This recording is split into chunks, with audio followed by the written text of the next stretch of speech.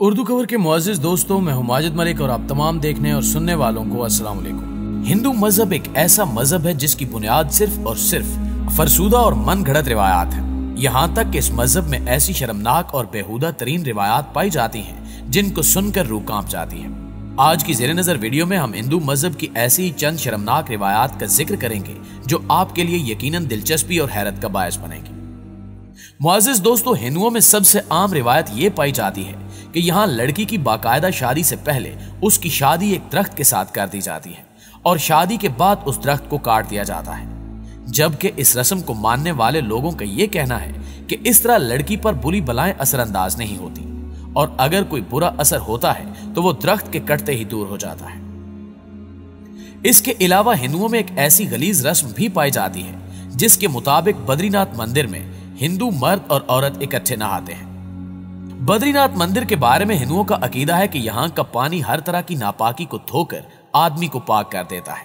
इसलिए यहाँ हर वक्त लोगों की बड़ी तादाद मौजूद होती है, जो कपड़े उतार कर इस शर्मनाक रस्म को अदा करते हैं। ऐसा ही एक मंदिर भारतीय रियासत उत्तर प्रदेश में भी मौजूद है, जो राजस्थान की सरहद पर हरे भरे जंगलात के इलाके में कदरे एक गैर मारूफ अनोखा मंदिर है, जो जियारत के बाद गुनाहों से पाक साफ़ होने का सर्टिफिकेट भी फ्राहम करता है। कहा जाता है कि इस मंदिर के पाक पानी में गुसल से इंसान गुनाहों से पाक हो जाता है। यही वजह है कि इस मंदिर के बाहर अकीदत मंदों की कतार लगी रहती है। इस हवाले से मंदिर के पुजारी जगदीश शर्मा कहते हैं कि सन उन्नीस से अब तक छह पुजारी रह चुके हैं और इनकी जानब से जारी किए गए तमाम सर्टिफिकेट का रिकॉर्ड भी मंदिर के पास मौजूद है। ये मंदिर लॉर्ड शिवा का है और कबाली लोगों में खास तौर पर मकबूल है। मंदिर के अहाते में पानी का एक बड़ा टैंक मंदाकुनी कुंड के नाम से जाना जाता है। इसी में लोग बदन और रूह की पाकी के लिए डुबकी लगाते हैं और इस रिवायत के बारे में कहा जाता है कि, कि गौतम नामी एक देव ने इस मकाम पर एक जानवर की जान ली थी जिसके सबब वो मलून करार दिया गया था। गौतम ने आकर देवी से दुआ की तो दरिया गंगा मंदाकुनी के रूप में ज़ाहिर हुई और उसमें उसने स्नान किया और अपने आप को गुनाहों से पाक पाया। तभी से लोग यहाँ अपने गुनाह धोते आते रहते हैं। सर्टिफिकेट देने के लिए मंदिर के पुजारी सिर्फ़ पंद्रह रुपए चार्ज करते हैं और मंदिर से जारी की जाने वाली सनद में इस बात की तस्दीक की जाती है कि फला शख्स ने उस मंदिर की जियारत कर ली है और मंदाकुनी कंडम में नहाने के बाद उन्हें गुनाहों से पाक करार दिया जाता है।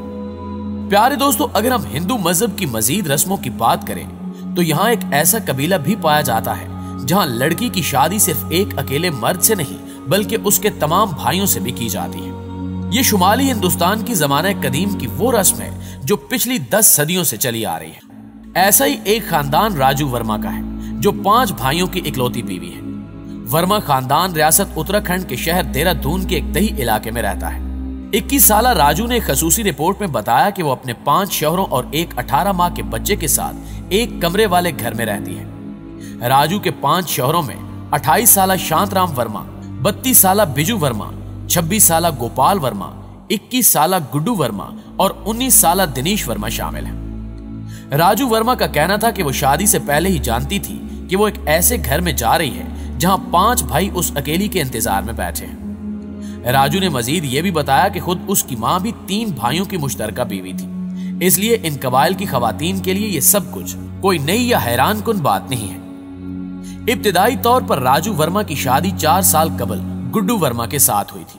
जिसके बाद बारी बारी बिजू, शांतराम, गोपाल और दिनेश से भी राजू की शादी की बाकायदा रस्में की गई। जबकि राजू की पांचवी और आखिरी शादी दिनेश से की गई। क्योंकि पहले दिनेश की उम्र कम थी, लेकिन जैसे ही वो 18 साल का हुआ तो वो भी शादी करके राजू के शोरों की फहरिस्त में शामिल हो गया।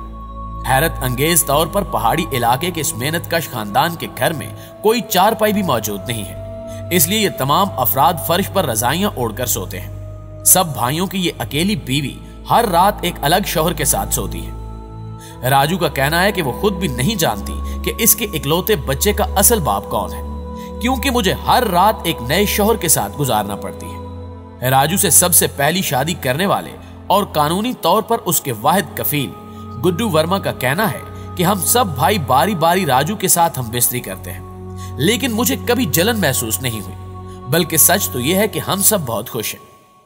राजू ने बताया कि इसे बारी बारी सब भाइयों के साथ रात गुजारना होती है। लेकिन वो खुश है क्योंकि उसे एक शोर रखने वाली बीवियों की निस्बत ज़्यादा तवज्जो और प्यार मिल जाता है। इस रस्म, यानी एक औरत के कई शौर रखने की रिवायत का ताल्लुक हिंदुओं की संस्कृत जमाने की मुकद्दस नजम महाभारत से जोड़ा जाता है। जिसमें बताया गया है कि पांचा के एक बादशाह की बेटी द्राउपदी ने भी पाँच भाइयों से शादी की थी। ये रस्म खत्म होते होते अब हिमालय के पहाड़ों के नज़दीक वाक़ इन हिंदुस्तानी और चीनी देहातों तक महदूद रह गई है, जहाँ पर अब भी पुरानी रस्मों पर चलने वाले कबाइल आबाद हैं। ये कबाइल इस घटिया गरीब रस्म का दिफा करने के लिए इसके दो जवाब फ्राहम करते हैं। जिनमें से एक तो यह है कि एक खातून की किसी एक के घर कई भाइयों से शादी करने से विरासती ज़मीन उस खानदान से बाहर जाने से बच जाएगी, जबकि दूसरा जवाब यह है कि ये रस्म इन कबायली इलाकों के नौजवानों के लिए बीवी तलाश करने में आसानी पैदा कर देती है, जहाँ पर लड़कियों की पैदाइश की शरह लड़कों की निस्बत बेहद कम है। कानूनन जुर्म होने के बावजूद, इन कबीलों ने न सिर्फ़ इस रस्म की इजाज़त दे रखी है, बल्कि कुछ कबाइल तो इस रस्म पर इतनी सख्ती से चलते हैं कि अगर कोई शख्स इस रस्म की वजह से शादी से ही इनकार कर दे तो उसे कबीले से ही निकाल दिया जाता है। अब रह गई ये बात कि विरासत के तनाजात से बचने के लिए बच्चे की वल्दियत का पता कैसे चलाया जाए? तो इसके लिए डीएनए टेस्ट करवाने के कुछ हालिया वाकयात सामने आए हैं। मुआजिज दोस्तों, इसके अलावा भारत में एक ऐसा इलाका भी मौजूद है, जहाँ मज़हब के नाम पर लड़कियों से जिसम फरोशी करवाई जाती है। इस हवाले से तहकीककार सारा हैरिस बताती हैं कि उन्होंने भारतीय रियासत कर्नाटका में दो साल ऐसी खातन के हालात जानने में गुजारे, जिन्हें भगवान के नाम पर जिसम फरोशी पर लगा दिया गया था।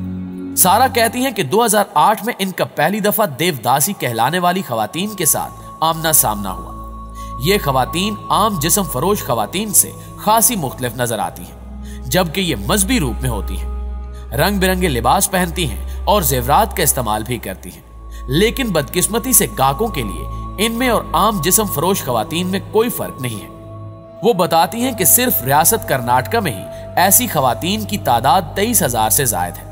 जिन्हें उनके अपने घर वालों ने ही देवदासियाँ बनाने के लिए मंदिरों और प्रोहतों को बेच दिया था, जो इनसे शर्मनाक धंधा करवा रहे थे।